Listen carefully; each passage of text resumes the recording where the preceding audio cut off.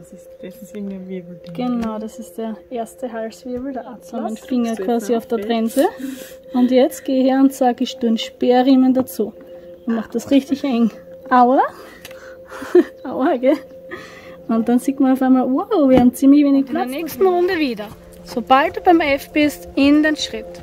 Und zwar richtig entspannen. Du ziehst sie immer rein und das ist nicht das, was wir wollen. Du musst wirklich schauen, dass du es nur mit deiner Körpersprache machst. Dass du Seil erst dann verwendest, wenn sie nicht reagiert auf der Körpersprache.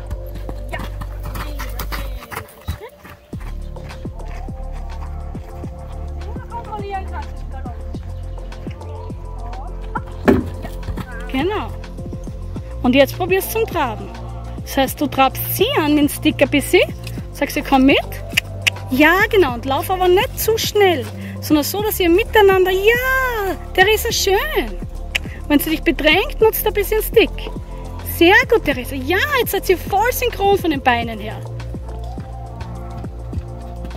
Sehr gut.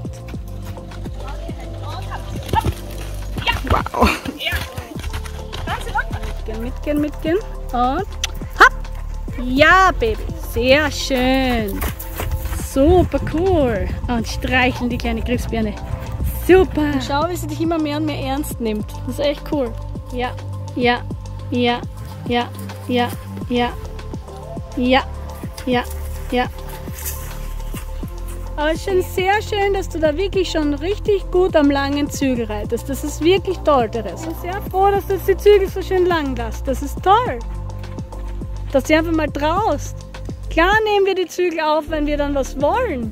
Aber wir müssen auch einmal zügelunabhängig traben können und nicht immer nur auf engstem Raum ein Pferd im Zaum halten, im wahrsten Sinne des Wortes. Genau. Längst sie, längst sie, längst sie. Genau. Hinten mit dem Sticker ein bisschen weiter schicken. Sagst du? Bisschen. Ja, sehr gut. Super! Ja, sehr Heidi. Ich kann her, da schau, was du